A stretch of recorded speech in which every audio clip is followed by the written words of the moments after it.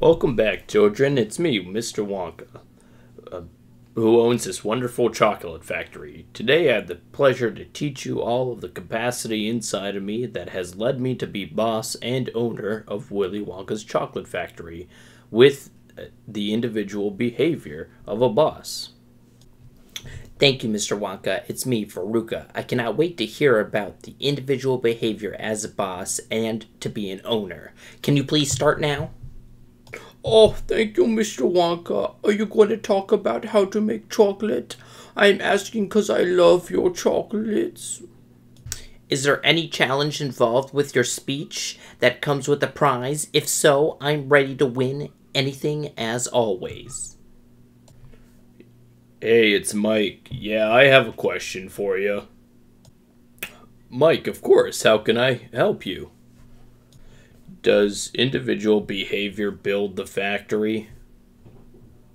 Yes and no. Individual behavior doesn't physically build the factory, yet it is a part of my skills that I've used to put together this factory because individual behavior, through me, uh, helped create a free conflict environment between me and my workers. Did I answer your question, Mike?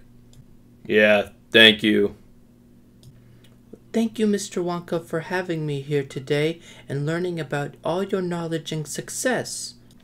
Well, let's continue on our tour while I tell you about individual behavior.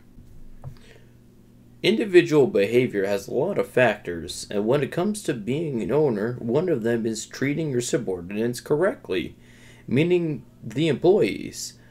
And this comes along with many challenges, such as commanding them to do well so they get those jobs done, but not strictly doing so so they are discouraged or in fact stop you know listening. So how is this involving chocolate? I'm confused. Mr wonka where did you even learn about this and how to go about it? I heard that individual behavior involves substantial human cognition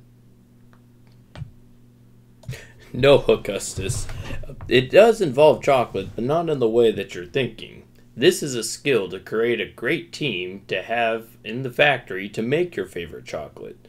Once you have that one on one basis with your employees and your employees respect you through your individual behavior, then you make a create a team.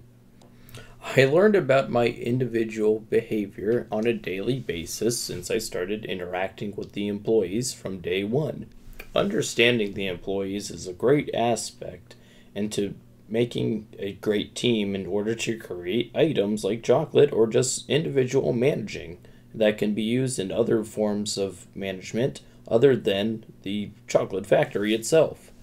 And it does involve the human cognition as well. It it has the process in which it makes a connection to understand and to acquire the information that can be transformed stored, and used in a business sense for managing.